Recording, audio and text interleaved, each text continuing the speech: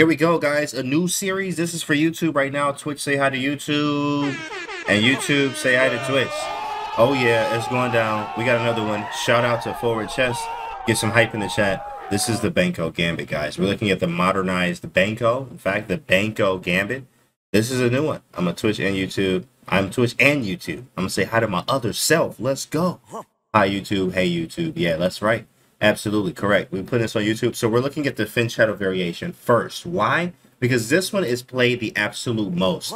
Y'all want to, you know, you want to get learn from an, a variation that's actually played a lot. Of course, as we always do, we're going to do five videos. We're not going to cover all of it because that will be actually giving the whole book away for free, which we're not doing. So, we, but we are going to get you up and running today, and we are going to look at today the Fianchetto variation, which is played very often in the Benko Gambit. What is the Benko Gambit? Well, first off, it's good to know what the moves are on the board. D4 It's a D4 opening. It's against D4.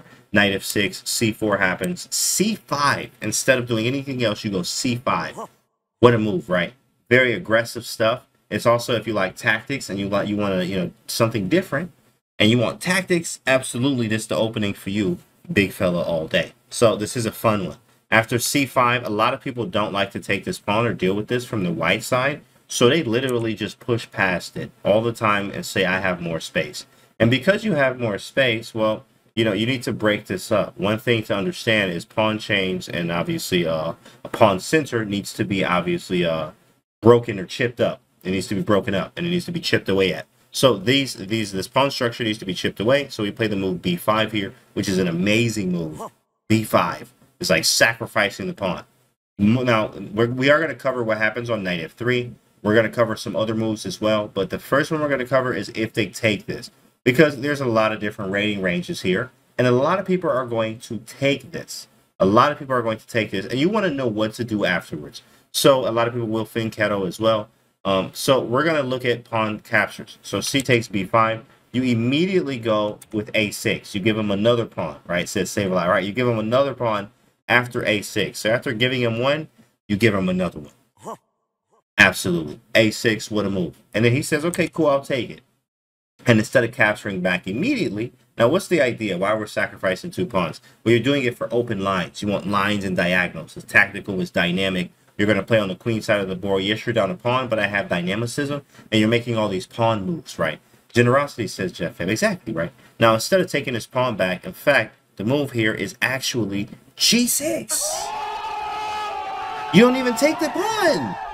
It looks like, bro, bro, you're garbage. Garbage. He just like, what is he doing? What is he doing? He just gave up all these, all this material, right? Like if you look at this from the beginning, D4, Knight f6, C4, everything even, everything's even, and then he give up one pawn, and he like, bro, what are you doing? Bruh. And then he give up another pawn, Bruh. and then he don't even take it right? And this is like so your opponent, especially from the white side, is absolutely baffled here many times. For people that don't know, the Benko is dangerous. In fact, and the, the Latinum in the chat says the Benko Bishop is dangerous. What's the Benko Bishop? It's the dark square bishop. Oh yeah, that boy over nine thou wow. Oh yeah. The bishop is a this piece is your best piece in the Benko. You will be down material sometimes, meaning pawns, but this bishop is, is a monster. So after g6, knight to c3, we develop, right? And bishop to g7 makes total sense. We've got the dark square diagonal here. We are going to get this a pawn whenever we want. That's why we're not going to take it. We're focusing on rapid development. They go gambit. What does that mean? What does a gambit mean, right? Usually, you gambit for rapid development, like you do in the Queen's Gambit, Scotch Gambit, any gambit. When you gambit something, you're you're looking to get fast-paced play. Hence, we didn't take back on a6. We developed knight f6, g6, bishop g7. We're going to probably even castle next before even thinking about this pawn, right? Castles, then g3, which makes sense, right? g3 makes sense. And then we're going to look at what happens at, after the g3 move, d6. So d6 is a move that is played a lot. Bishop g2 and knight b to d7. There's also knight a6. I've seen, uh, and I've studied a lot of Benko theory myself.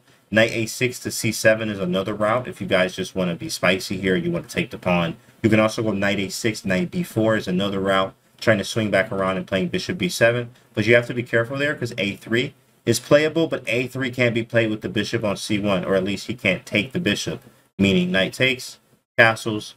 Oh, can't take the knight. A3 can't be actually captured right now due to the pin. So something like bishop b7 would be allowed. But e4, you have to be careful in some of these positions because the knight is going to be misplaced. Hence, being on c7 is usually the best. And you need e6 and f5 as pawn breaks. This knight goes to g4. The bishop opens up. You have to know the ideas, right, of the Benko. The queen usually goes to a5 sometimes. b6 or c7. This rook goes to b8. Bishop a6 or on the diagonal. It's nasty on the type of counterplay you get in the Benko. Save a lot. Thanks for the tier one. Appreciate you, big fellow. So let's go back to it. This is definitely spicy. The Benko is a very, very active opening. Very active. So, right, this content isn't allowed to be free. Thanks for the gifted, bro. So after castles, right, let's go back to that.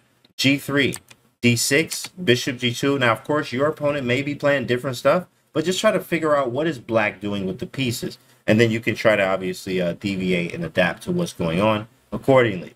Bishop G2, knight goes to D7. We still focusing on development. What does it say? The main difference between this position and the main line of the Benko is black's bishop is still on c8. The bishop on c8 prevents white's usual rook b1, b3, and bishop b2. In this line, white is unable to use this setup. Black could also play knight takes a6. Did I just mention that, right? Yeah, yeah, using this position and his bishop on c8. Okay, so castles from white. Also, there's a rook b1 option, and they mentioned a game that this was played in by Ivanchuk. So you, you can actually check that game out yourself. I'm actually not going to look at that. But castles, knight to b6. Okay, knight b6 here. Um, knight d7 was to go knight b6, putting pressure on d5. Knight to d2 from white, very common move. You want to swing to c4 or b3. You also want to defend the pawn and play pawn at e4, all at the same time. Bishop a6, we finally collect one of the pawns back. We still not a pawn, we collect one. Queen c2, and then watch this move, bishop b7. And you're like, bro, why did I move this bishop two times? It went from a6, now back to b7. Very strange. Let's read it. Always read what it says. Black provokes e4, opening up the a6 f1 and eyeing d3. What this means here is after the e4 move, this bishop, you see this a lot in King's Indians and uh, many, many openings, obviously, with the black pieces, but you'll provoke more pawns on the same color of this bishop. So now this bishop is worse. Think about this. Right now the bishop is a little bit more active. Now it's not. Active, not active. Or less active, right? Active, less active, right?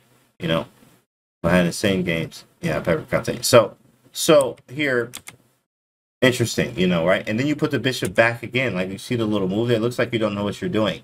But in fact, you actually do. You actually do know what you're doing, guys. You know what you're doing. We're going to move this bishop a few times back and forth. Put this bishop back on a6. Now it's definitely on a great diagonal, and this bishop kind of looks silly. Rook to d1, and here um, I always I used to call this the Magnus move. Reason why I called this is because the first time I knew what a Benko anything was, this was many years ago when I saw Magnus put a knight on g4 like this. I mean, this knight g4 move is really strong, and I'm like, what's what was this about? Well, you're going to move it. For number one, the knight can move from e5 back over to c4. The bishop now opens up, right? The knight can go again into c4. Sometimes there's stuff on f2 like bishop d4. There's a lot of play here for the pawn that we're down. Look at white's development or the lack of development for white. And we have the bishops that are open. This is a good position. We have compensation for being down the pawn that we sacrificed in the opening. Knight f3, and then white black goes knight to c4, right? Using the squares, the bishops here, why not? It's pressure, pressure, pressure here. h3, making the knight move back. Well, don't go here. We go to e5.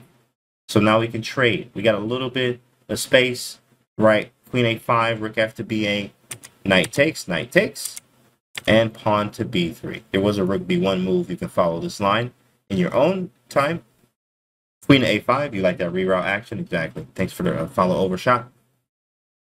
Conte, yeah, that's crazy. Give away C pawn, open file. Absolutely, Mike. Absolutely. Queen a5, bishop b2. Finally develop some pieces here. c4, I like this break a lot. Probably even a rook move might have been fine as well. You can always check with Stockfish up here. Just turn, turn the engine on. Tells you rook after c8. Look at that. c4 is a move as well. But c4, though, C4 was the move here. Activity. We're going to put the rooks on the file. Knight went to E2. Didn't want none of that trouble, bro. Didn't want none of that trouble. Rook F to C8, very nice. You have to remember, Benko, activity, activity, activity, activity. If you ever feel like you're not being active, you're probably playing it wrong. Bruh. Probably playing it wrong. So you need to be active. Look at all of black's pieces are active. Queen is out on a5. Bishop's off the back rank on a6. This rook's on the a file. This rook's on the c file. Pawn went from c5 to c4. Knight's on e5. The bishop is able to still influence the center. It's a very, very active opening for the pawn that we gave up. Bishop c3.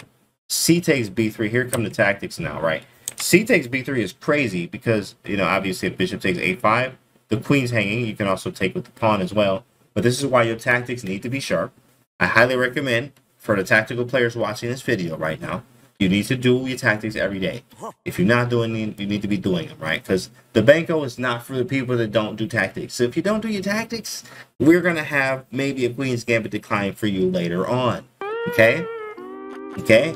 It's going to be okay. We're going to have something for you too. But for the people that do their tactics, right, this is definitely one of those openings where they're definitely going to show. Because after a move like this, Bishop C3, you're always looking for tactics, obviously, but definitely in a position like this. C takes B3, A takes, and then the line ends with Queen C5, saying Black has achieved all of his goals, controlling all important squares and the files. But I'm down a pawn though, right? But I'm down a pawn though, you know? You just say, but I'm not a rapper, right? You know, it's crazy. This is ridiculous. That makes sense. I how, uh, how I throw so many of these tactics be lacking. Yeah, exactly. Save a lot. Exactly. You gotta you gotta get the tactics up. We gotta work on it. This is a nasty line. All the best moves for white too, right? I mean, these are probably humans playing. To be honest, I'm assuming he grabbed this from games and and because uh, this is like mainline stuff. Right, because, not some of these aren't like if you look, you turn the engine on, you can go back a few moves, and you'll be like, "Yo, the engine says this, but they play this." It's because it's humans, right? It's because it's humans. Always reference human data and not really the computer data because we're not playing computers, right? So, okay, we'll look at this one briefly, and then we're gonna end the video, um, so you guys can get on it. All right. Um, Spud Smasher, like fuzzy. It might be because I have my air conditioner on. That could be a thing. That might be it.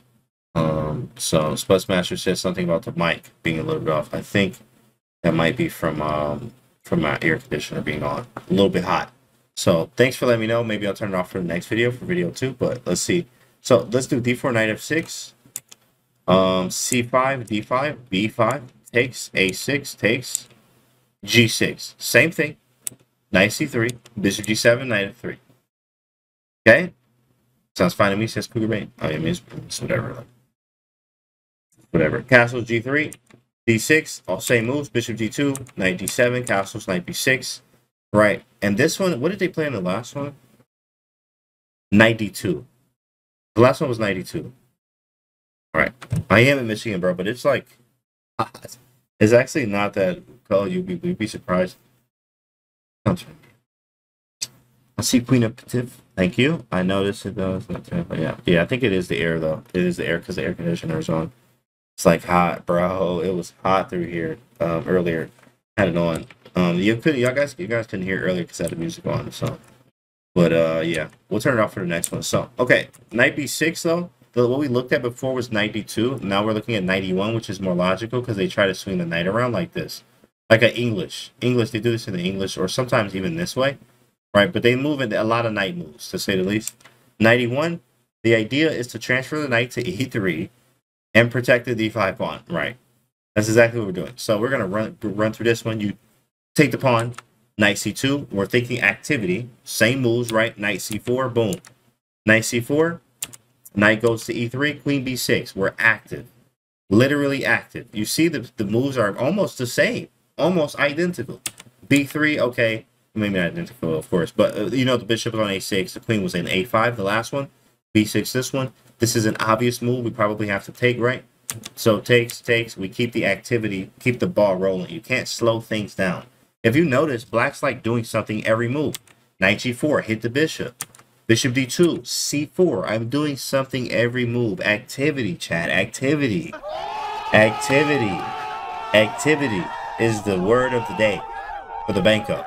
If you can learn to be active, you can play this opening very, very successfully. And also other ones too that, that require, require activity. But definitely this one will help you a lot with uh, being active. H3, and then watch this move right here. Bishop takes C3. Whoa. Now that's honestly a scary move because we never give this up. We don't ever give up your, your, your dark square bishop. This is almost better than a rook. In fact, I'll give you a quick example. If you go knight here, knight e4, I'm probably not going to take this rook. Believe it or not. This bishop is stronger than this rook because it actually controls a lot of squares around my king. And I could be, I could actually be in danger because I gave that bishop up. Just a, a, a food for thought there, guys. Just so you know. Just so you understand that. But here, that's why this is such a, you know, wow, whoa, why did he play this? Because his follow up. Watch his follow up. Bishop takes, and hopefully you're doing your tactics, big fella. Here it is. B. Whoa. 93. He was not expecting that one. what the heck is that? Boy, oh my goodness. 93. If pawn takes, right, pawn takes, queen takes, e3, that's check, and obviously I just get the piece back, so I stole a pawn there. Stole a pawn there, that was nasty. And actually, I mean, well, stole the pawn meaning got the pawn back, because remember we were down a pawn. But bishop takes c3 is nice, and then knight e3, that's a nasty tactic. Bishop d4, knight takes d1. And this like teeters out to some um, endgame here that looks like this. Rook fb8, bishop e3, and rook takes b3. It says with equality, right? Which which many times that's how your Benko games will go. You're gonna get the you're gonna get a lot of play, and you can get way more than equality. Sometimes you get way less too if you're not active. Make sure you're active, guys. Watch this many times about the activity of where the pieces go, guys. But this is part one of Benko Gambit. We're going to keep it short and sweet here, about 15, 16 minutes. Hopefully you guys enjoyed this one. We're going to have part two tomorrow. And uh, make sure you guys subscribe to the YouTube channel so you can get all the updates and stuff. So we'll see you guys on the next video.